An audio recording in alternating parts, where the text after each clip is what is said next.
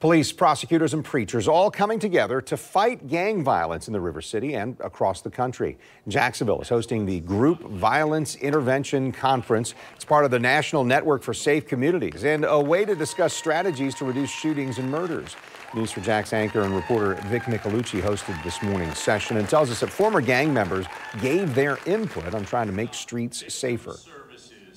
A full agenda here from this three day conference, which wraps up tonight. You know, I talked to the organizers, and they say that this was a huge success. It's their first time doing it, but they had more than 250 participants from over 20 different cities for one cause to cut down on gang violence. Uh, good morning. Good morning. It's a beautiful day in the neighborhood. Andre T. Mitchell used to be part of the problem in New York City. As a child, I had a very, you know, um, troubling life. Besides being homeless and in foster care, he witnessed domestic violence within his own family.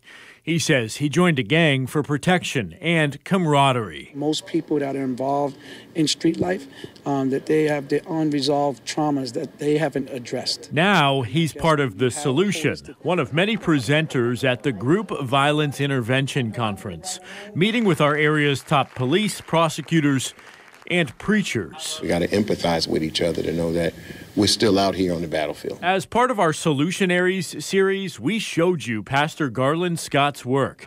He and a team identify at risk youth and literally knock on their door to give them options to get out of gang life and violence. We have a group that population is called They're Not Bad, They're Not Good, but they're right on the verge and we can still help them. At this morning's award ceremony, the crowd celebrated the victories. Members of our community honored for their compassion and concern, identifying those who need help most and giving them a chance at a better life. There have been 107 recorded homicides in Jacksonville in 2023 and hundreds more shootings.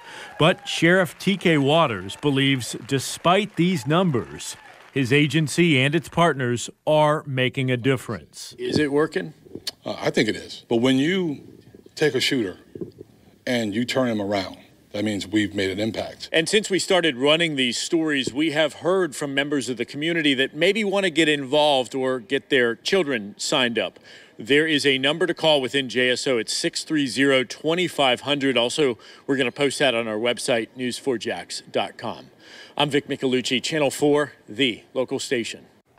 All right, and take a peek. Scan this QR code. It's on your screen right now. Scan this, and you'll be able to watch our full solutionary story on Pastor Scott and his team's visits to homes of at risk youth. You'll also be able to hear from a young man who turned his life around after shooting someone in Jacksonville.